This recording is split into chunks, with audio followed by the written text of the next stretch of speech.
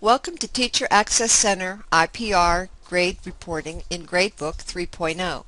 This session is designed to introduce you to the interim progress grade reporting. During this session, we will load interim progress marks from your gradebook.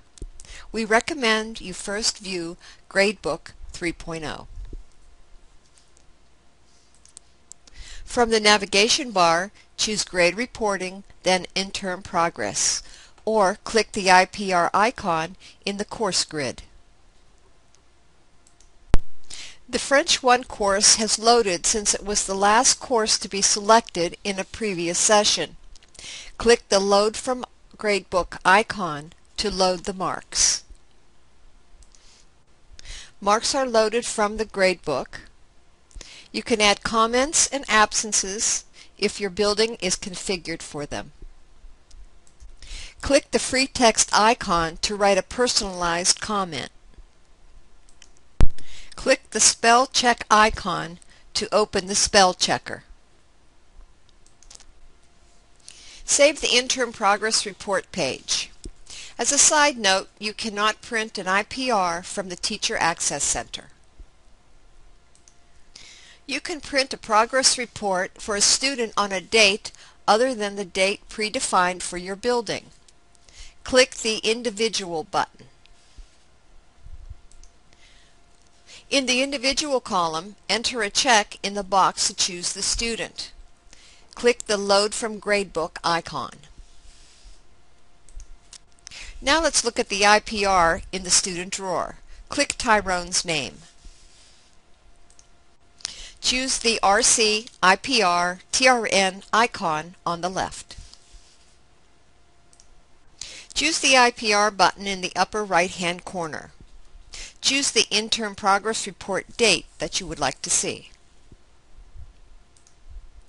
Click the mark to see the IPR gradebook information for this date.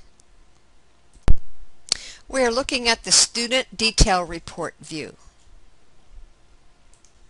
Close the student drawer, then use the Change Course button to select another class. You cannot load marks for multiple classes. For example, German 1 and German 2 must be loaded separately. Once report card marks are entered, the grade reporting icon is overwritten with a check mark. In this lesson, we've learned to load interim progress marks from Gradebook, add a free text comment, use the spell checker, and create an individual IPR. We viewed the IPR from the student drawer. For further instructions, refer to Teacher Access Center online help or contact your district's eSchool Plus support personnel. Welcome to Teacher Access Center 3.0. This session is designed to introduce you to entering classroom issues and conduct referrals. During this session, we will enter a classroom issue, refer the issue to a disciplinarian, and enter a conduct referral. First, we'll need to log in. Simply fill in your username and password, then click the Login button. After logging in, your home page will appear. From here, you have two options for entering classroom issues. You can click on the exclamation point next to any class, homeroom, or activity, or use the Interventions drop-down menu. The Classroom Issues entry page is divided into three parts, Issue Details, Students, and Teacher Actions.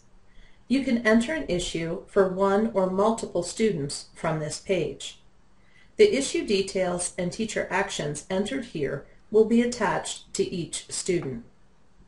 Notice the Change button next to the course name and date at the top of the page. Use the Change button to select a different grouping of students or to change the date. After selecting the Change button, you may change the issue date field and select a different grouping of students. After you've made your selections, click the OK button. Enter the type, location, and notes in the details section of the page. Then use the plus sign on the right-hand side of the student section to add students. On the Student Chooser window, you may select one or multiple students. Then click the OK button. Click the plus sign on the right side of the Actions box to add an action. Remember that the actions added here will be added to all of the students you selected in the Students box. If you need to add unique actions to each student, you may do so after saving the issue. After saving, the Classroom Issues list page will appear. From here, you may click on any issue to add actions or additional notes. You may also click on a student's name to access the student drawer. Let's refer Caitlin Morgenstern's computer misuse issue to her disciplinarian in eSchool Plus.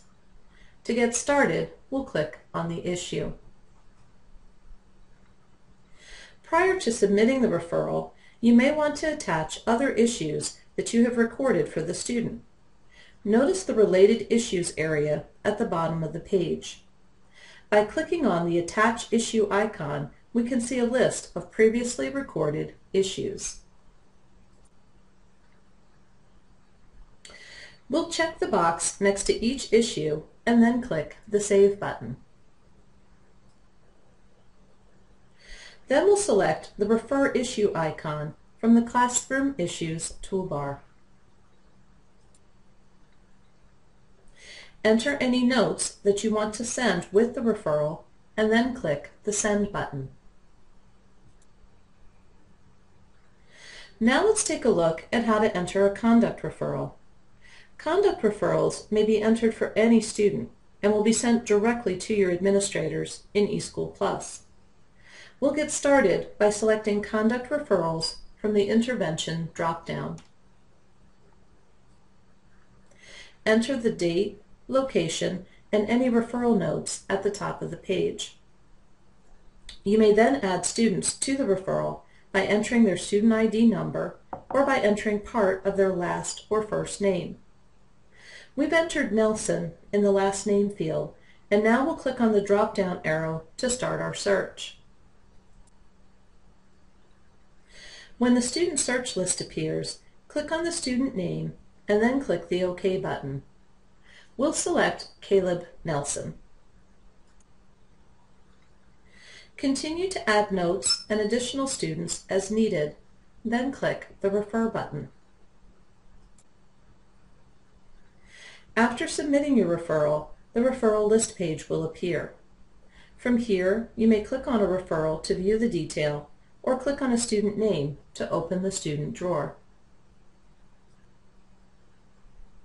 In this session, you have learned how to enter classroom issues for students, how to submit classroom issues by making a referral, and how to enter conduct referrals. For more information, please refer to the online help or check with your school district's eSchool Plus support personnel.